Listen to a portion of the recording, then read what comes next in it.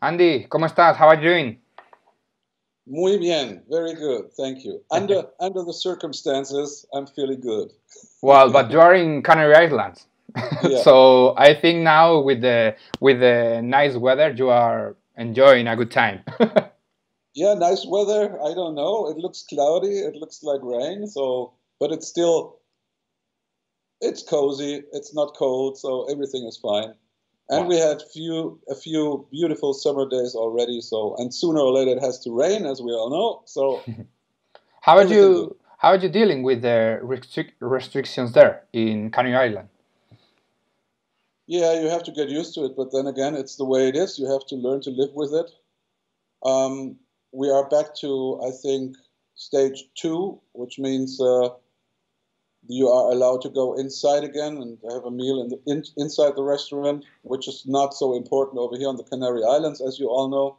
Most of the people like to sit out there on the terrace. So, yeah, but everything looks a bit more friendly now, and uh, I think the sh- I think they're gonna close at twelve o'clock for the next week and not uh, 11 o'clock. So life is getting back to a little bit of more normality because if you ask me, for example, I'm always going down to the beach and having a nice little jogging most of the times at 11 o'clock in the night because nobody's on the beach. Yeah.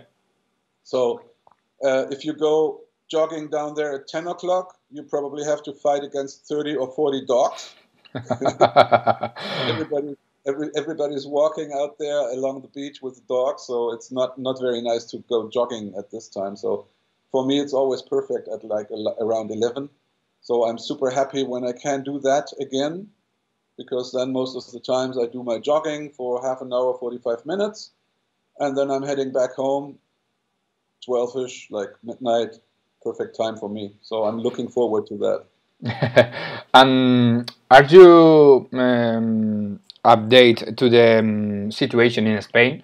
Because you are in Canary Island in Canary Island but for example um, do you know about the situation for example in Madrid with the with the voting process uh, last weekend? No. What happened there? Well there was uh, there was uh, elections. Uh, I don't know if it's the correct um, word in English, but um, they have the, uh, the people from Madrid had to had to choose the, the president of the community. So did it go good or bad? It depends. it depends. If you want to go to restaurants and bars, uh, awesome. But if you want to be um, healthy in the hospitals and the, and all that kind of stuff, maybe it's not the best choice for Madrid. But well, that's not the point today. so we have to wait and see. Yes, absolutely. Uh, well, you released your your new album Helloween.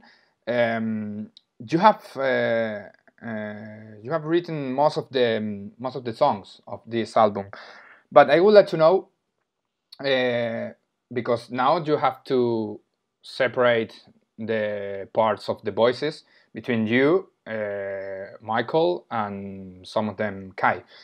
Um, who has rule in that in that process? Is in oh, your in your Oh, Well, that, your that was responsibility or how? that was a bit, a bit of a twist actually. Sometimes sometimes it was automatically decided by Michael and myself because very often Michael said, "I don't want to sing this; it's too brutal." So I sang it. Sometimes I said, "Look, if it's that high-pitched voice you're we want to have, clean, like really nice high-pitched clean voice, it must be Michael." Because if I go up there and sing the same line, it will always sound a bit more brutal. And yeah, I think certain feelings demand more Michael, certain feelings demand more Andi. And so between Michael and myself, we decided probably 40%, 50%, which automatically were there. Where Michael said, don't, I don't want to sing this, you sing it. And I said, I, I will never sing this, you have to sing it. But there was a, the, the vast majority of at least 60%, which were not clear from beginning on. So we had a lot of work down there in the studio checking out the lines, singing, Michael singing, me singing, then sometimes Michael doing the high pitched voice over the main voice, or me over his main voice. And at the end of the day, you could say, even though you're two singers, or sometimes three with, with, with Kai, and everybody would think, okay, it's half the work, isn't it? But at the end of the day, it was four times more work than being the only singer, because when you're the only singer, you have to sing it, period. so, but suddenly you are two, sometimes three singers, and there are so many possibilities. At the end of the day, if you check them out, if you want to check all the possibilities, you end up with singing much more than, than if you would just be the only singer. So, yeah, we had help from the producer team, certainly Charlie and Dennis.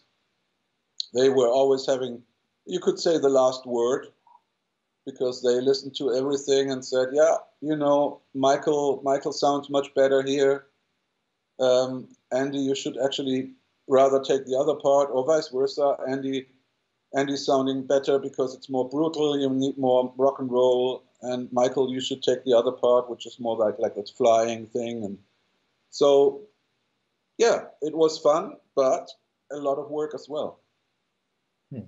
And well, uh, Skyfall was uh, written by Kai, mm-hmm. but the whole album has been like like the previous uh, Helloween albums because uh, Michael Weikath uh, and you uh, have had most of the responsibility of the composition of the of the songs.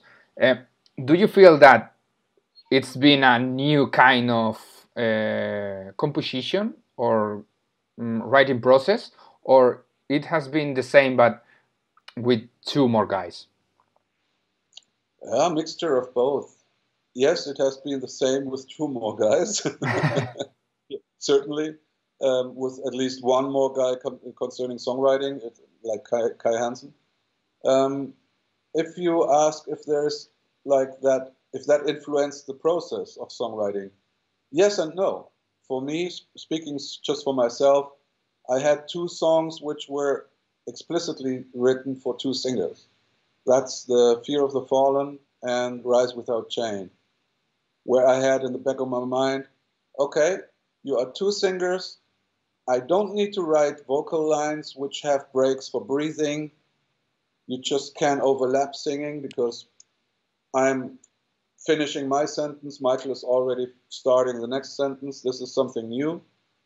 Yes, you could do that in, in, in studio production without problems, but this is something I try to avoid because I want to have it presented more or less the same way on, on stage than we recorded in studio. So this is always something you have in the back of your mind. Don't do that because you can't produce reproduce it on stage. So rather stay away of it. This time, piece of cake. Just write it the way you think because you don't need to think about I'm the only singer. I have to I have to breathe. you know.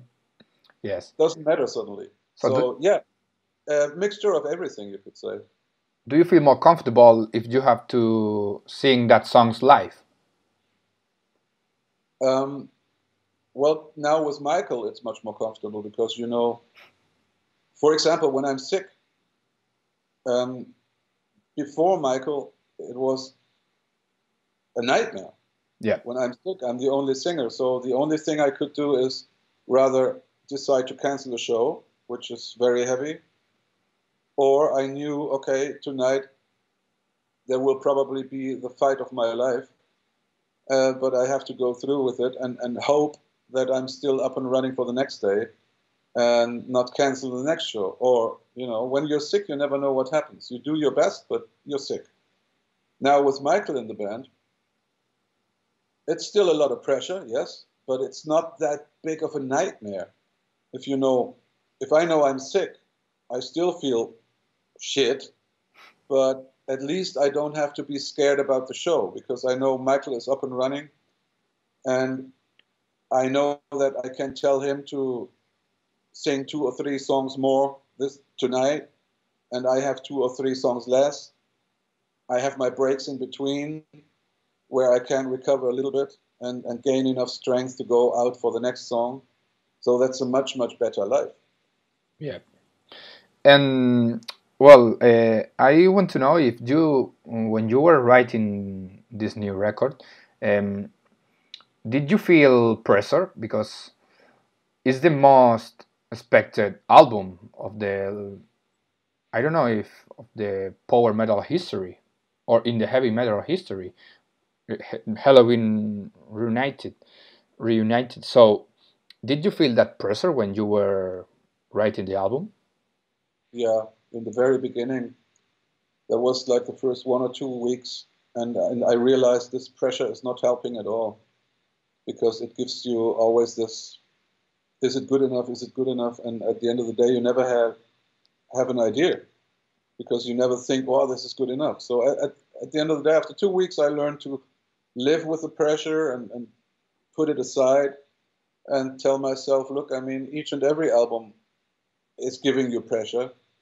This album is giving you even more pressure, and maybe you just try to reduce it to a, to a healthy point where you are able to to recognize good ideas and start working on these ideas, and later on decide if it's good enough. Don't try to decide now if it's good enough when you even have only a guitar and a vocal idea. Just try to put it down and, and try to work on it. And not only for two or three songs, but try to write 10, 10 or 12 songs. Yeah. And then make the people decide if there's if there is songs in between the 12 ideas I have which are strong enough for the band. Fortunately, we had already a listening session in, in uh, April 2019 and uh, early enough, so to say. And we, we, we were happy to listen to lots of good ideas from the other guys. And obviously, the boys liked my ideas as well because they applauded big time. And, and I knew, okay, there are some good ideas and relief, you know. because, yeah, with that pressure in the back of your mind, you never know if it's good enough. It's uh, at the end of the day, I just told myself, work the way you're used to work. Have fun. Just have fun. If I like it and I got some goose flesh going on, I think that's that should be enough to go on, keep on working on that idea. Put it that way. If it's good enough, I'm not the one to decide. So the band has to decide. Everybody has to decide. Unfortunately, everybody was happy when they listened to my ideas. I was super happy when I listened to the other ideas. So there was a big pressure coming off my shoulders hmm. because I knew I don't have to write another five or six songs because there would not be enough sufficient good ideas. So when I listened to the ideas of the other boys, I was going like, okay, yeah, great. And I would like to know how is uh, the rela- the relationship of the members of the band nowadays. If it, it it has changed from the beginning of the of the new Helloween era uh, until now?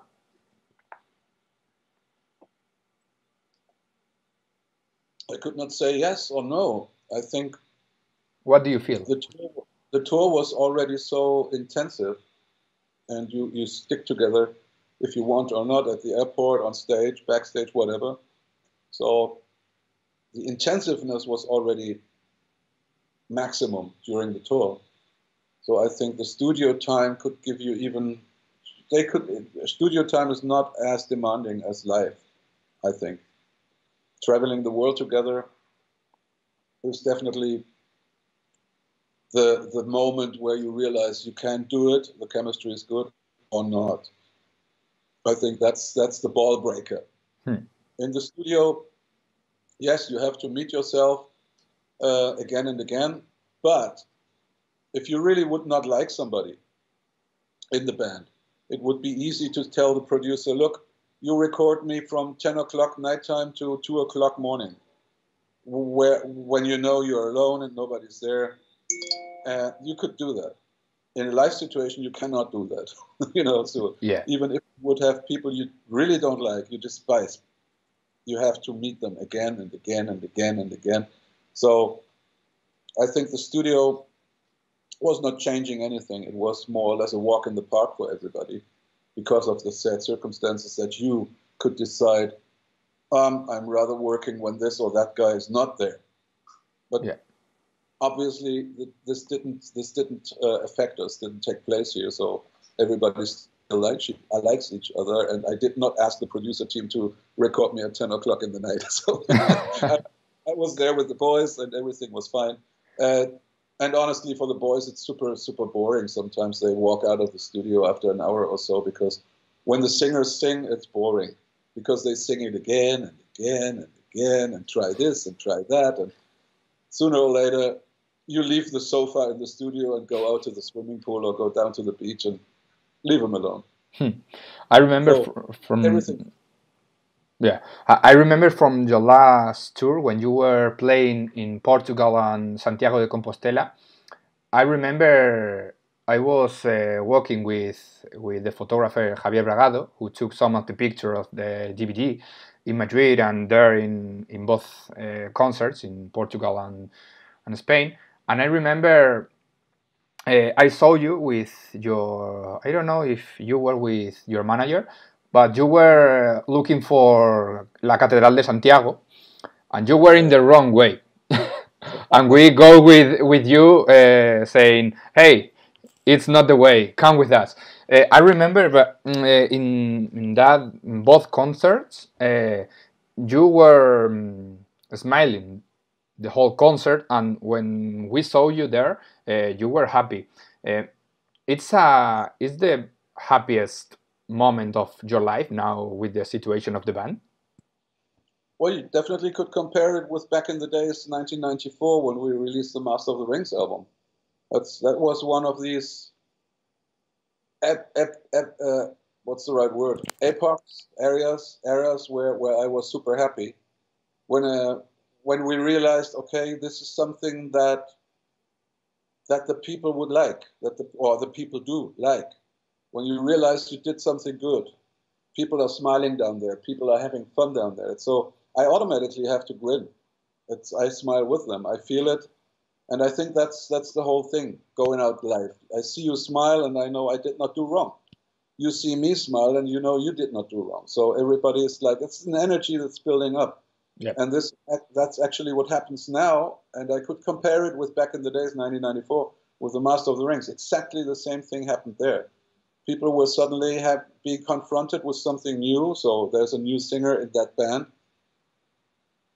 and suddenly you realize they are smiling, they have a good time, they are having fun, they are crazy, and you know, suddenly you realize on stage, yeah, we did the right thing. Everybody's having fun, and this is exactly the feeling I have now.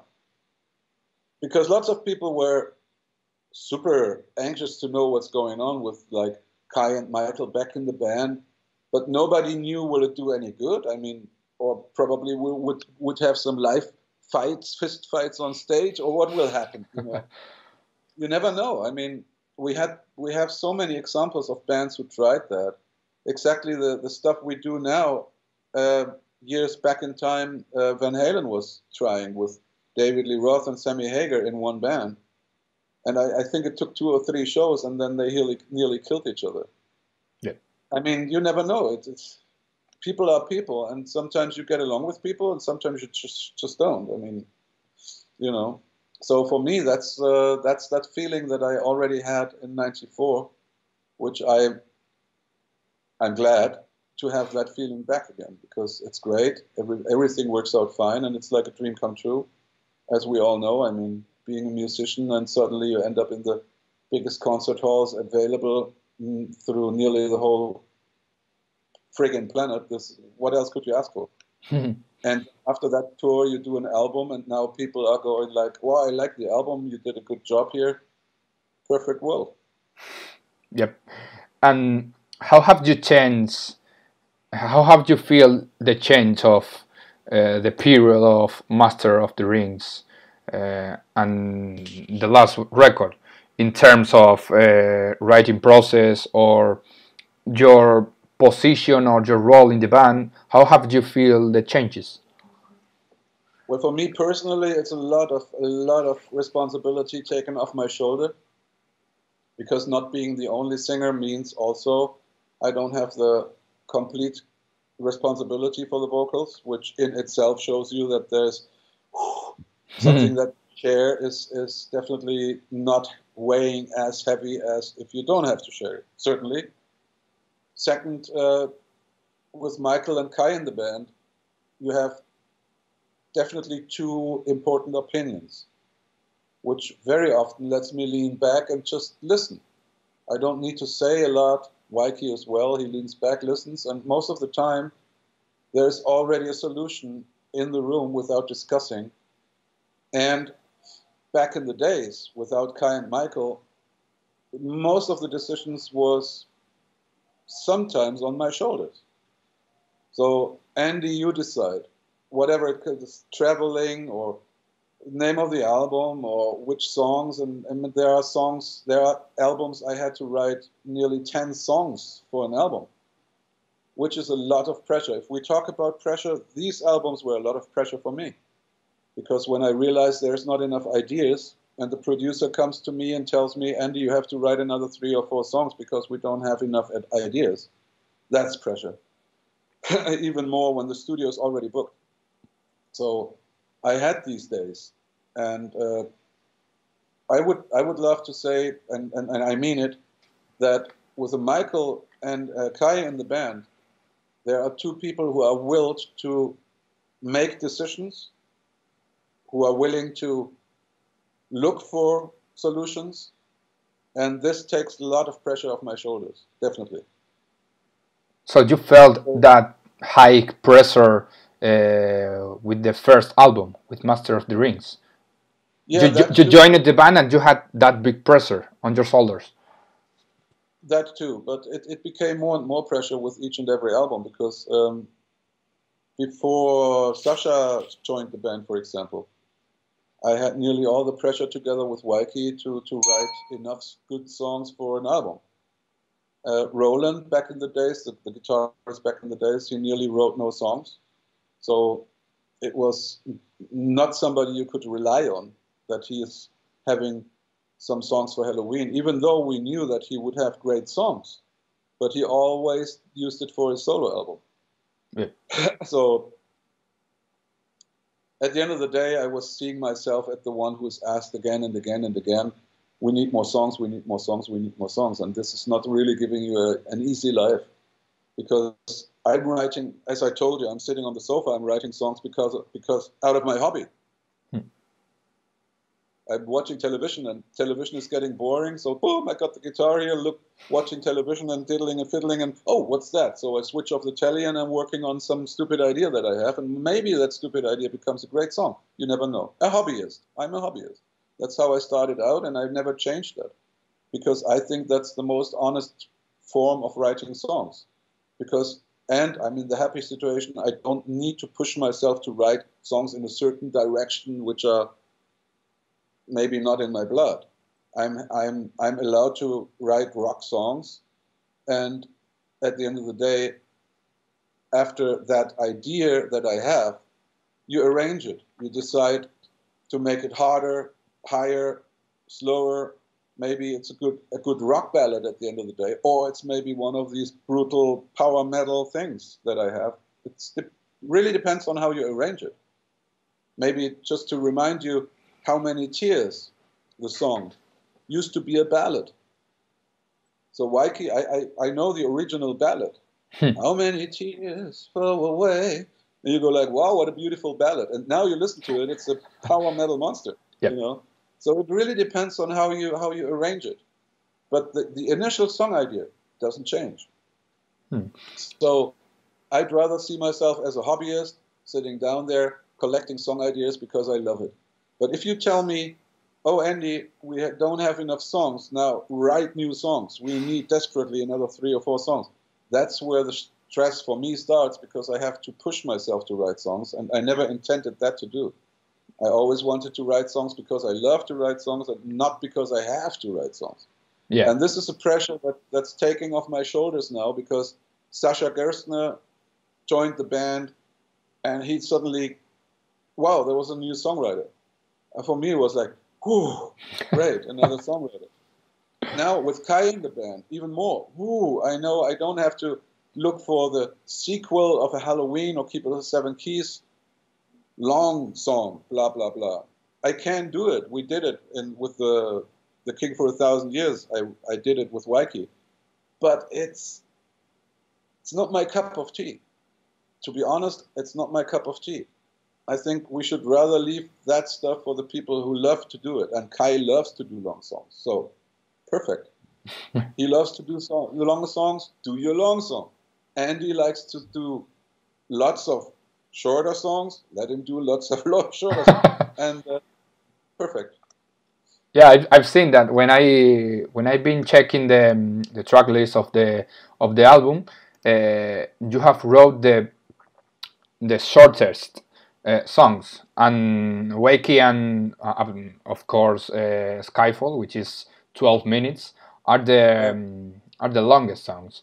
Uh, I would like to know, um, talking on the last question about Master of the Rings, uh, if you remember some some funny or some hard um, uh, anecdote from that from that period of of your of your life when you joined Helloween.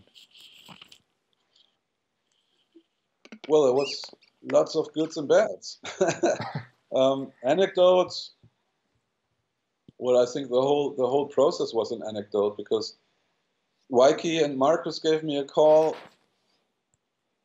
on the 29th of December in '93, and uh, I just listened to what he had to say. That he just want to kick uh, out Michael, and if I would not join Helloween, he would just uh, split the band, period, end of Helloween. And me as a long, long, long years friend, because I hang out with Michael poof, since 1986. Mm-hmm. So, and I was still in my pink cream bubble, but Weiki always smells when something is wrong. He's got that third eye or whatever you name it second ass. yeah, I was thinking about that. That third eye. yeah. Third eye or second asshole. I don't know. but he, he, he smells when something is wrong. I mean, he smells it. And we didn't have, we didn't speak for at least like two months. And suddenly he rings me up again on the, in the very on the very day after I had the biggest trouble with my Pink Cream boys I ever had in the history. So I was really pissed off with my boys, and Weiki rings me up and tells me that he want to fire Michael Kiske, and if I would not join the band, he would probably rather split up Helloween. And I said, okay, I just had the biggest trouble with my boys. You know what? I'm taking the next train, and I I come to visit you, but I will not decide before next year. Let me enjoy New Year's Eve. yeah. So I on the on New New Year's Eve I went to Hamburg. We had a meeting, and my biggest concern was that the, the biggest trouble I had with my Pink Cream Boys was they listened to my demos for the for the new album, and they said they don't want to play any of the songs because they think they are too commercial. Mm-hmm. And they want to rather go into the direction of Alice in Chains, blah, blah, blah. And I was like devastated. I was like, I mean, we are Pink Cream 69. We have our own style. We have some success going on here with our own identity. Why would you copy bands already existing? Yeah. When we have so many bands now copying Pink Cream 69.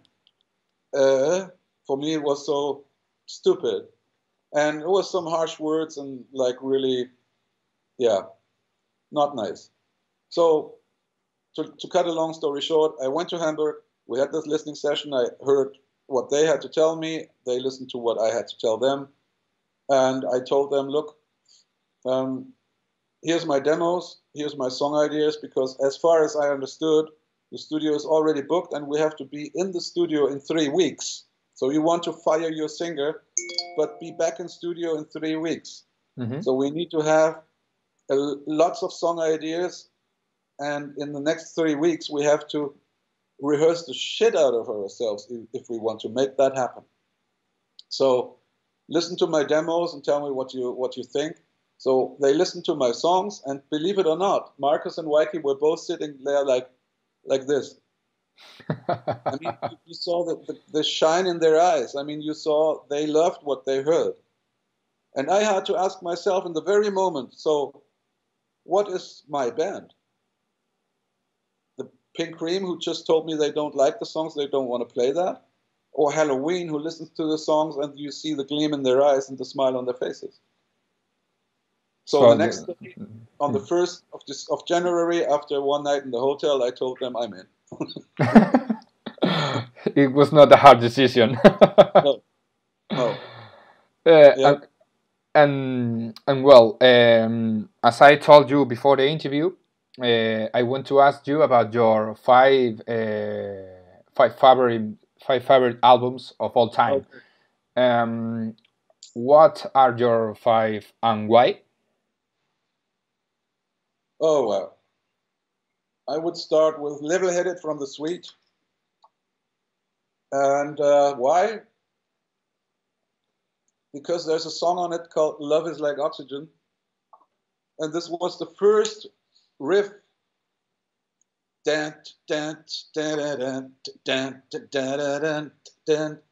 Everybody knows it. Yeah. And believe it or not, everybody can play it on the first day he ever grabs a guitar. and so that's how I started actually playing guitar when I realized, whoa, that's how it goes, and I can play it. I mean, it doesn't sound good, but at least I know what he's playing, or think I know what he's playing. And uh, as as bloody beginner on the guitar, I was I was able to play that. It's like a smoke on the water.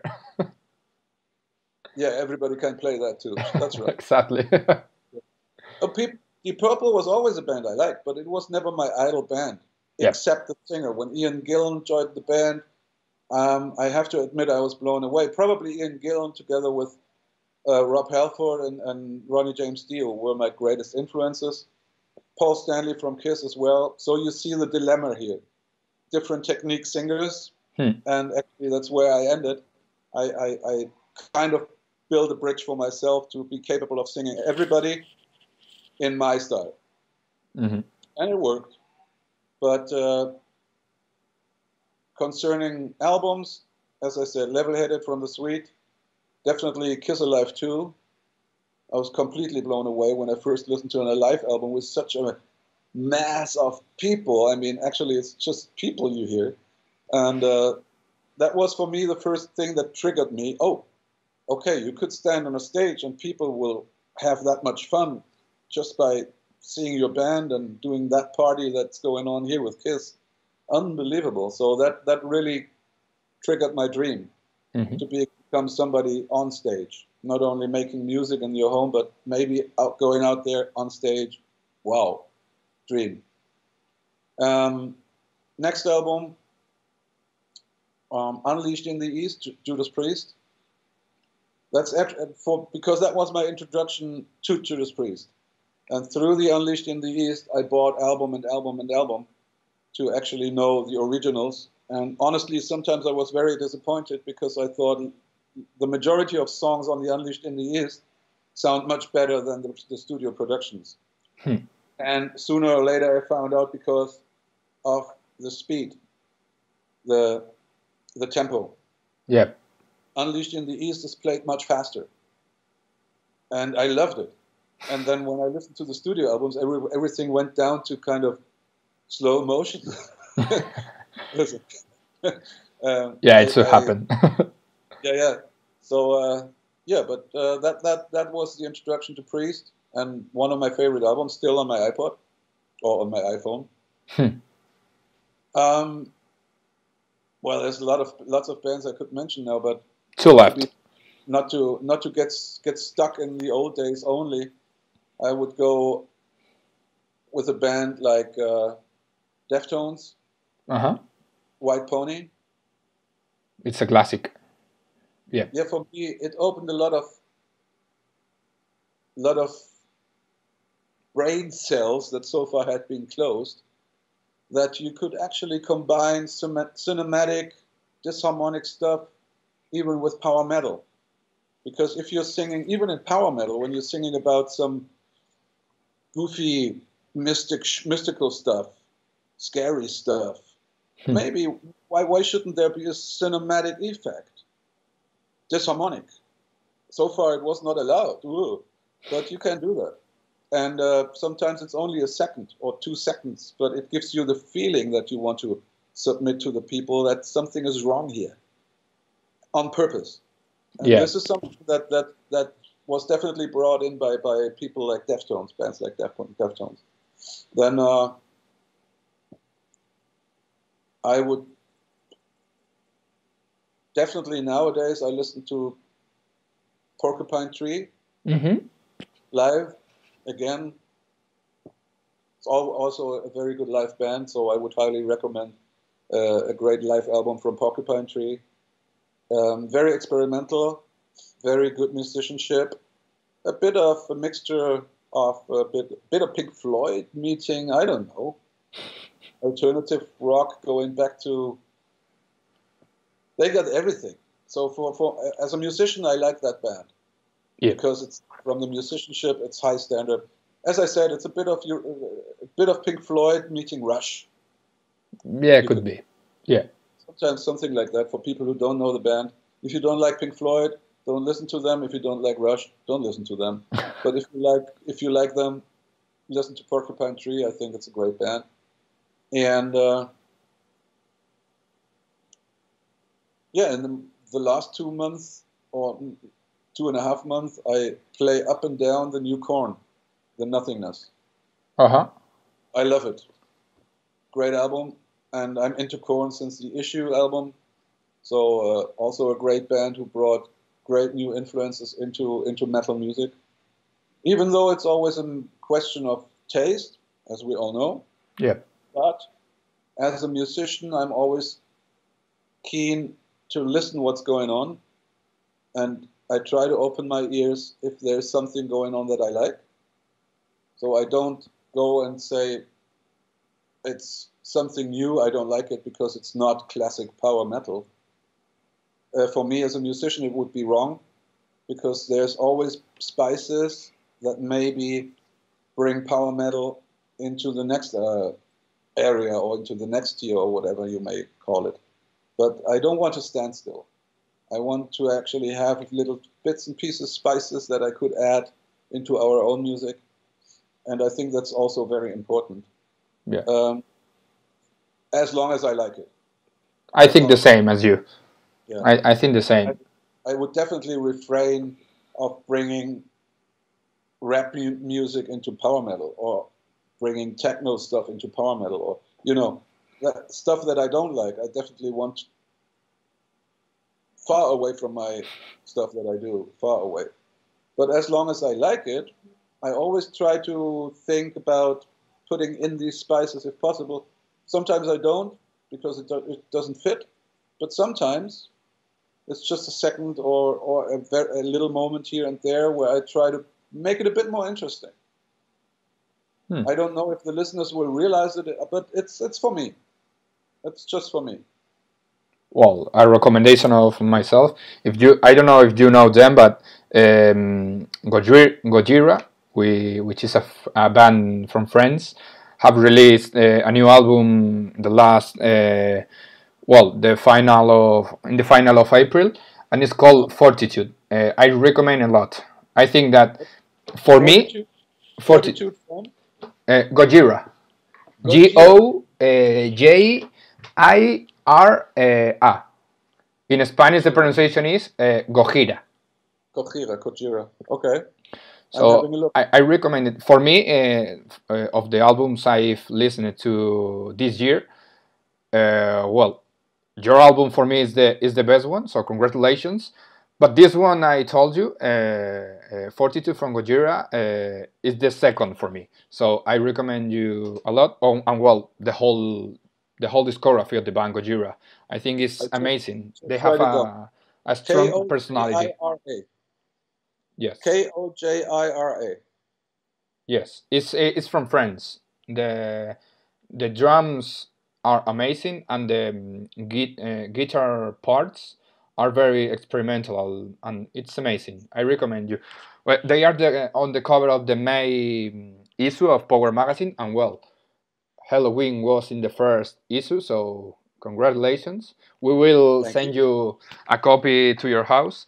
And well, the, the last thing I would like to talk is about the tour. You have a tour schedule uh, over Europe with Hammerfall. Uh, what are you preparing for that tour uh, with the scenography and the set list? Um, have you think about it now because it's in almost a year? Well, con concerning the the set list itself, we still have to wait. I mean, there are the must plays, as you know. There's six or seven songs you have to play if you want or not. They probably kill you if you don't. Hmm. Um, for the rest of the of the set list, we have to wait uh, for the people. Actually, as, as always, we want to know what the people would like to listen to. So it's on Helloween.org. Everybody can say what he wants to listen to, and certainly, this will not take place until August or September that we finally bring the, the main set list onto paper because we have to wait for the reaction of the people concerning the new album. Mm-hmm. So uh, I would say 60 70% of the set list is always decided by the people. And uh, let's wait and see what, what songs they would love to listen from the new album. And uh, then we have hopefully a good, nice set list that goes up and down and up and down and up. It's always very important that you have these waves, and that very much depends on the songs they choose. Sometimes you have to get rid of one song and bring in another song that we think is better when it comes to the up and down of a show. As you know, we have probably again two, two and a half hour show. It will not be a, a three hours and three hours ten that we used to play when we've been on, on stage alone. This time it's a force, a united force with Hello, uh, with Hammerfall, and so uh, we'll definitely not be on stage for over three hours again. Well, two hours is not. It's, well, it's a long concert. Two hours plus. Helloween is always having a two hours plus show, but three yeah. hours plus will not be. So, like last time, and also because our drummer is not getting younger. I guess uh, I remember the the show of Madrid. Uh, I was there uh, where you recorded the DVD. Uh, this is the last question. Um, do you think that's the best concert of Helloween in the story of the band? The the WiZink Center in, in, yeah. in Madrid. Well, this was fantastic. Uh, if we talk about these dream come true concerts, where you're really having a packed concert hall at the WiZink Center with thousands of, yeah, what, what's the right word? Enthusiastic, crazy people. And video cameras and everything is on spot on that very night. And every, everything works. Everything is cool. That's uh, that's a night to remember definitely. Definitely. So if we if we would go for the concert of the year or of that tour if de- it definitely would be around in inside number three two or one so top three definitely i mean we had other concerts which were fantastic as well but I could not tell you that it's not number one. it was definitely one of the top three in the world, definitely. Okay, that's could good. be number one, but this is. Uh, I would have to go inside myself and, and look at the other great number one num, uh, uh, in the top three shows. Like uh, in Germany, for example, we had Stuttgart was fantastic. Hamburg was definitely fantastic. It was a homecoming for, for the band. Yeah uh, even though the concert itself was not as spectacular as WiZink Center, for example. So it's a sport, the biggest sports hall in Hamburg, and it's very, what's the right word? Cold, a cold concert hall, not really nice. Yeah. Typical German, very pr- pragmatic, but nothing special. But the people made it special. Madrid was the people made it special, and the concert hall was super nice. So the whole visual thing was wow. I mean, the sports hall, hall in, in, in Hamburg definitely cannot compete with the WiZink Center in Madrid. Just that, that one of these mega big sports hall, nothing else. Not very nice. So if you look at the WiZink Center, this is probably one, if not the nicest concert hall you can play in. So that's why it's definitely number three. The people were crazy, so maybe it's number one. For me, it's the number one. So it's the number one.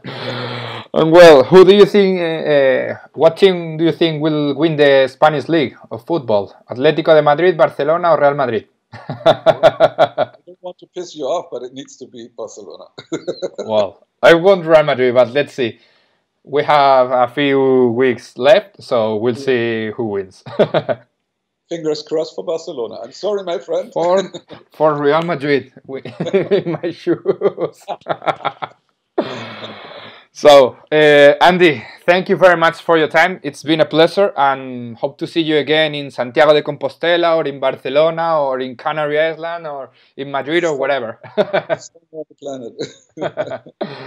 so, okay. thank you very much. Goodbye.